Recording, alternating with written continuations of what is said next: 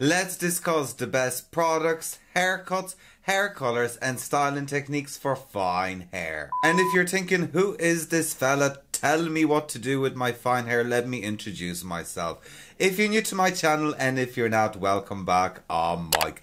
I'm who I'm a hairdresser, a L'Oreal color specialist, a makeup fan, and a skincare lover. In today's film, we shall be discussing fine hair what type of products you should use for your fine hair, what type of haircuts are the best for fine hair, what type of colors are the best for fine hair to make them look fuller, and how you should style your hair. So, few tips and tricks for styling your fine hair to make them look fuller. So, if you want to find out more about fine hair and how to make your fine hair look thicker and fuller, then you better keep on watching.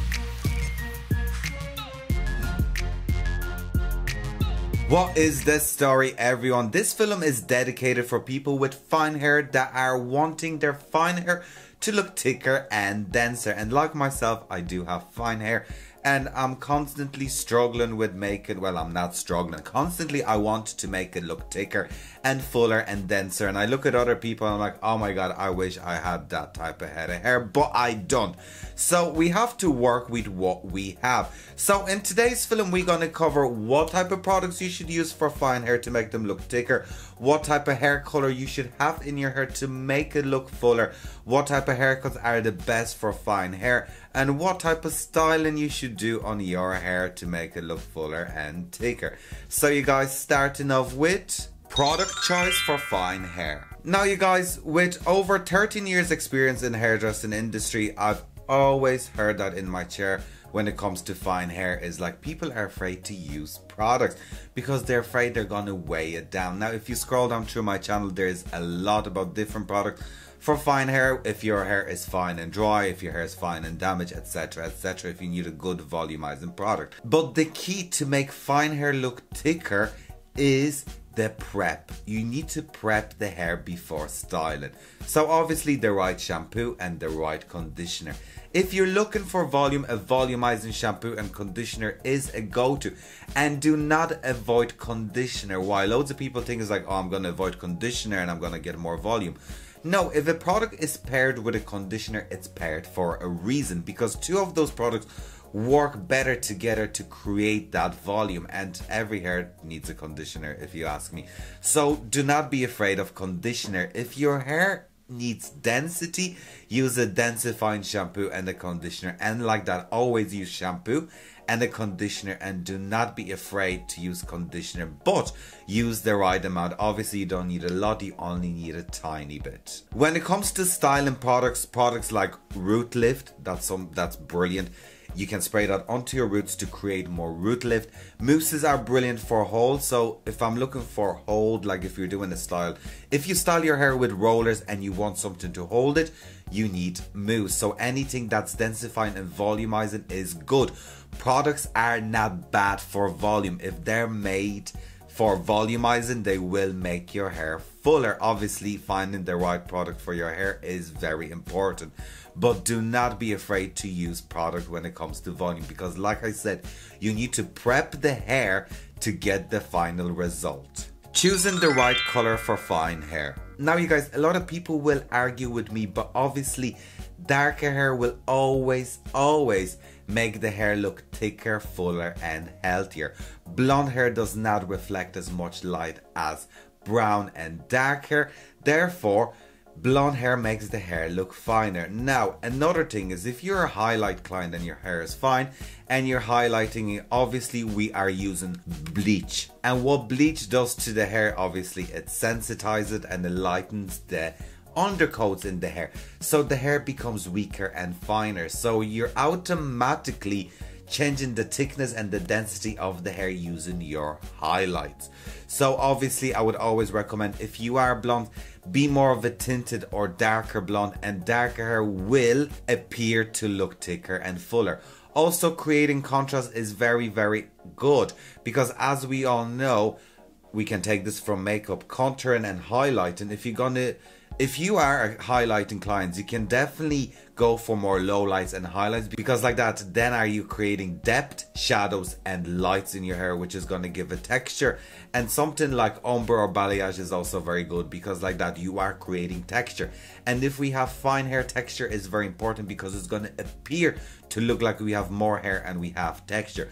But the rule of thumb is if you have fine hair definitely go more on the deeper tones because that's going to make the hair look appear fuller than lighter tones because like that if you're highlighting and lightening your hair you're damaging your hair so you're making the hair automatically thinner and obviously we're not getting as much light reflection so the hair is gonna appear even thinner. The right haircut for fine hair. Now you guys when it comes to right haircuts for fine hair now, let me explain to you from a hairdressing point of view. In hairdressing, we have three techniques, which is line, which is your basic straight haircut. Then we have layers and we have graduation. Those are your three techniques that you do when you cut hair. Now, what I always advise is if you have really, really fine hair, layers are a no-go. You're better off keeping it as blunt as possible because if you have blunt lines in your hair, that will automatically make it look fuller. What layering technique does to the hair, layering actually takes the weight out of the hair. So if you layer the hair, you're actually taking the bulk and the heaviness of the hair. Now we're gonna get to that because if you have layered hair and you are styling it correctly, you can actually get volume. But if you're one of those wash and clients, literally layers are a no because what they're going to do is they're going to take that weight from your baseline and the baseline is going to look weaker. So it's going to look like you're going to have less hair but you're going to get more texture here. But if you want the hair to appear fuller no layers. Then we have graduation. So anything like graduated bob graduation builds weight. So the minute you're going to get graduation in your hair so if you're going to start graduating your hair and you're going to get graduated haircuts that's going to build volume to the hair because it goes from shorter to longer, making the longest piece of the hair to sit on top of it, creating fullness to the hair. Obviously, if you have short hair, you can use the mixture of techniques. You can have a graduation on the sides and layers on top because if you look at my hair, my hair is clearly layered. But that's all down to styling. Obviously, my hair is layered. I blow dry. I put product in it and I create texture in my hair. So if you wear your hair short, obviously the length layer is also very important. But you can create texture and volume with layers depending on styling. Now, if you have long hair and you're going to layer it, forget about it. Obviously, the length of the hair is very important. If the hair is fine and it's too long, it's gonna sit very flat on the scalp and all the weight is gonna sit here. We don't want that, we want balance. So obviously keeping your hair shorter will make it look fuller and thicker. Best styling tips for fine hair. Now you guys, so we spoke about prepping the hair like that, we have to prep the hair with the right products. Obviously, then we spoke about color and haircut. So obviously, depending on your haircut, you're gonna style differently. I spoke about layers, and like I said, layers take the weight out of the hair. But if we style the hair that is layered with volume, so we're gonna blow dry it with brushes, we're gonna put rollers in, we can create volume. What is very handy for volume is definitely creating movement in your hair. So curly blow dries, big rollers, this is your best friend. Because like that, if we're keeping our hair straight, there's no volume or no movement. If we're actually going to create a bit of curl or a bit of movement, that's going to automatically give lift to our fine hair. Using something like rollers is also very good. So you can blow dry your hair, pop your rollers in and let that set and obviously spray it. So hairspray is your best friend. Texturizing spray is your best friend. Dust is your best friend. Anything that can give movement and hold is your best friend when it comes to fine hair. Old school back brushing or back combing is also very, very good. So what you can do is you can take out a section and back brushes, pop your roller in and that's gonna hold it. So when it comes to styling, make sure you use the right product. So obviously before you blow dry your hair, you need something volumizing to give the hair the hold. Use bigger brushes, try to create a curl or movement.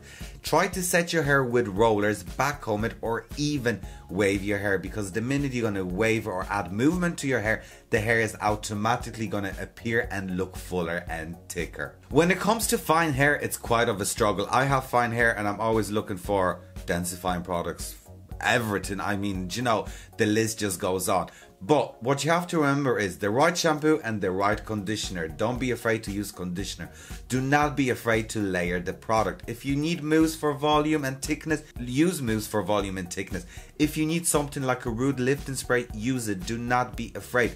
Product is your best friend because product is gonna prep and support the hair for a hold. When it comes to color, try to create contrast. Stay away from highlighting, over highlighting the hair and being too bright because if your hair is too bright then you might be able to see the scalp etc etc you know where I'm you know you know what I'm saying and try to be deeper. When it comes to blondes definitely go more of a darker blonde than a lighter blonde. And when it comes to haircuts try to create something with volume. Stay away from layers unless you're gonna style your hair with volume but other than that, if you're wash and go clients, try to create something like a graduated bob or something with graduation that's going to lift the hair.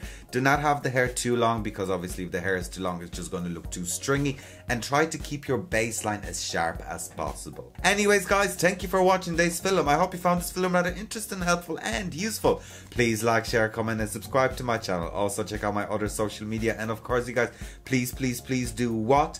Do take care. Bye.